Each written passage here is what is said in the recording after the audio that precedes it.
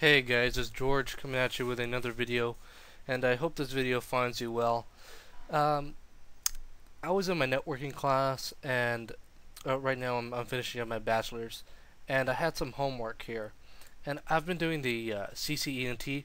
I passed that exam about a week ago, and I feel pretty comfortable with subnets, and uh, I just kind of wanted to make a tutorial on how to do subnets the easy way. It's really not difficult learning how to do subnets at all, and I feel like we can go through it in a uh, uh, in a methodical manner, and it, it's not something that uh, you should be uh, worried about if you're doing your CCNA or if you're taking some kind of networking exam or you just want to know about networking. Uh, subnetting is not something that's unaccomplishable. It's very accomplishable. So um, let's go ahead and start with this example. Okay, now I will say that this is somewhat of a complex example. Um, I will probably be rolling out some other questions that are less complicated than this, but this is the one I have available for my homework, and I'm, of course I'm posting it after the day I have to turn it in. So, okay, so we have a computer whose IP address is 198.132.202 255. Now, this here is actually uh, a kind of a well, actually, no, that's actually a valid, valid IP address. It just kind of looks funny uh, because 255, you normally don't see that. Okay, and the subnet mask is 255.255.252.0. Which of the following IP addresses are in the same subnet as this computer? Please show your uh, how you get your solution. And then you have these here. So um, let's go ahead and work out how to do that. But first, I want to show you guys um, pretty much how binary works. Okay, so we've all heard of bits and bytes, or at least I hope. And if not, a bit is real. All a, all that a bit is really is just a one or a zero. That's all it is. It's a yes or a no an on or an off. So that's that's it. A byte, the way I like to remember it is that when I say you can have a bit of my burger, you're gonna take a little bite, a little bit. Just take a little bit of my burger, and I say yeah, you can have a bite. Bite, it's bigger than a bit. So, a byte is eight bits. An example of that would be uh, 11001100. That is a sequence of 8 bits. 1, 2, 3, 4, 5, 6, 7, 8. As you can see, there are 8 bits here. There's 1, there's 2, 3, 4, 5, 6, 7, 8. There's 8 bits altogether here. So, that's it so far. Now, what does the bit mean? So pretty much the way you calculate uh, what each bit stands for and what each byte equals to is by uh, utilizing something called base 2. And all base 2 is, it means that it's 2 to the power. Since I don't have the power, uh, I'm just going to use a caret. Uh, 2 to the power of n, which is any number. So for example, if I said um, for example, that we had uh, 8, so which is, in this case is true because we have 8 bits. So an example of that would be uh, 2 to the 8th. Let's go ahead and do that on the calculator, even though I know that that equals 256 off the top of my head, but I'm just going to go ahead and bring up a calculator just to prove that to you. Uh, let's go ahead and do a scientific calculator. And then 2, uh, let's do let's see. Now, how do we do this? 2 to the 8th. 256.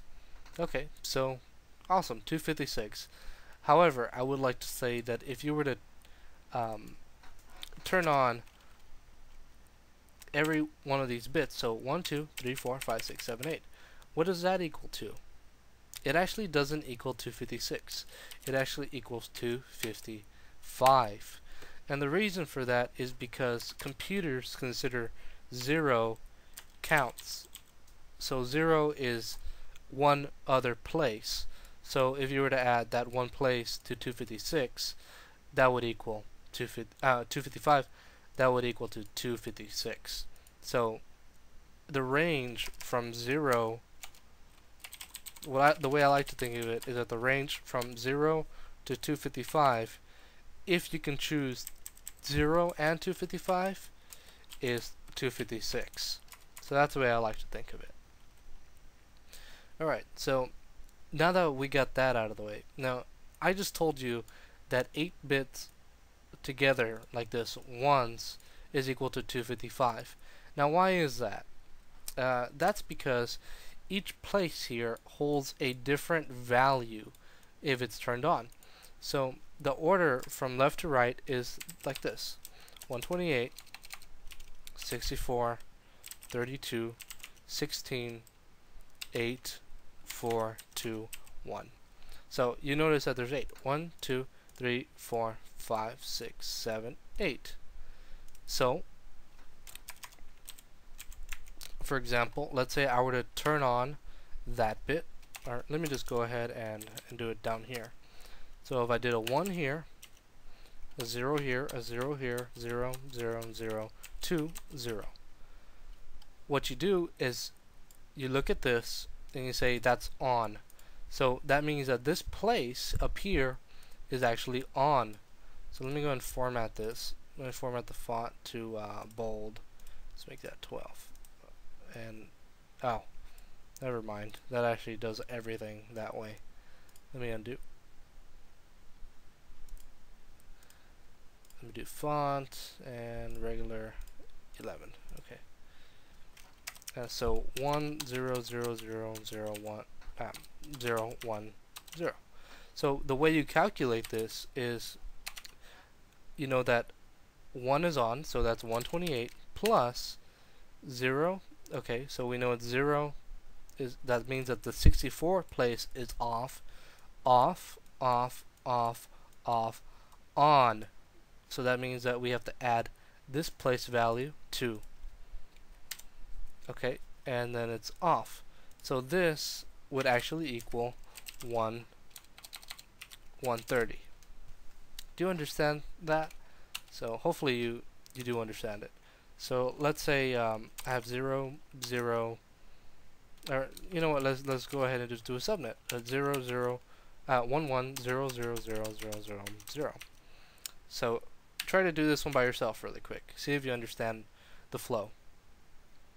Okay, go ahead and pause the video right now. Okay, if you haven't paused the video, uh, that's fine, because we'll go ahead and go through it again. So this one's turned on, so that's 128 plus this one's turned on so that's 64 and the rest are 0 so that means that they're off. So there's no more adding to be done. And well, 128 plus 64 is 192 so that's uh, pretty much a concept there. So that's kind of the way uh, well that is the way binary works. Alright so now what does that have to do with anything?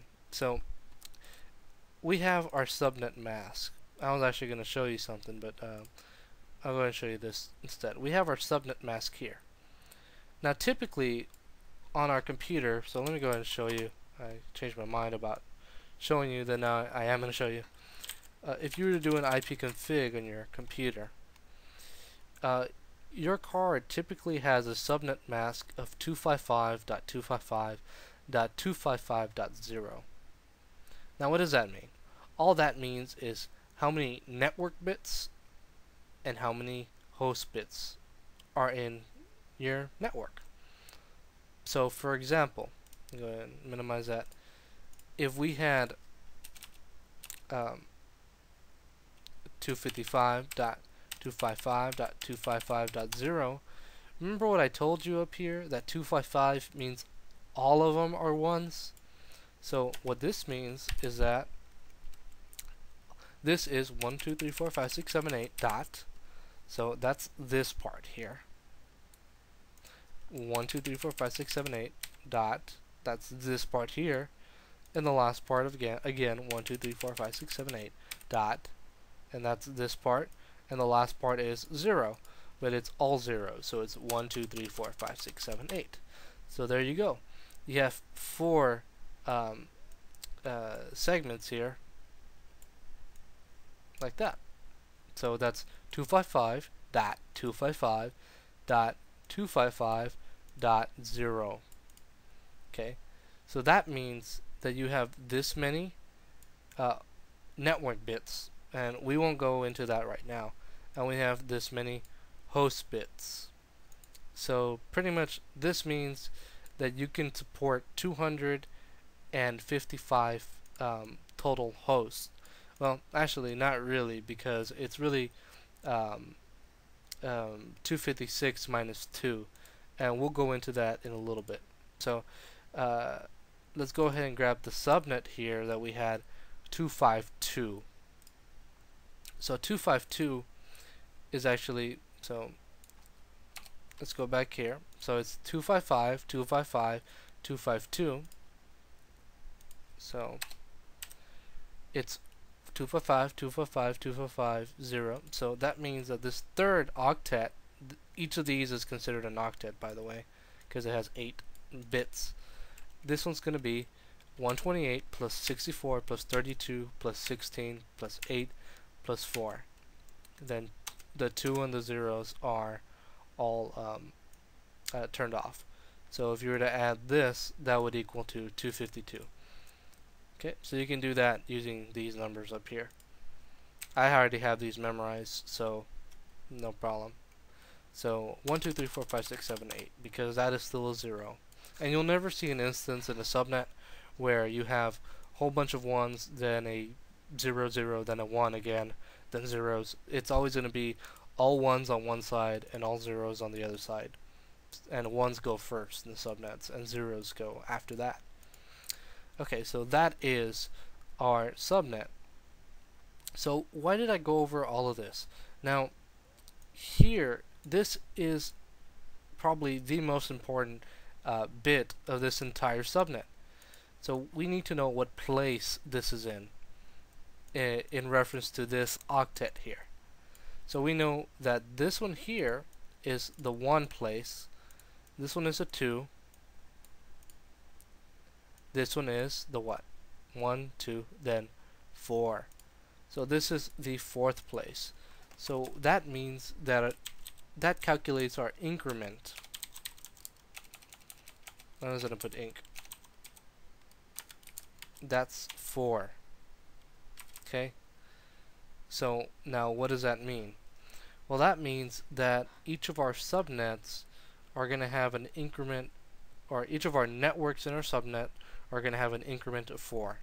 So the first network would be 0, the next one would be network 4, then 8, then 16. So now what are the network IP addresses? Because the network has to have an IP address and so does the broadcast. So we'll go over that right now. So here are our networks. Here are our networks.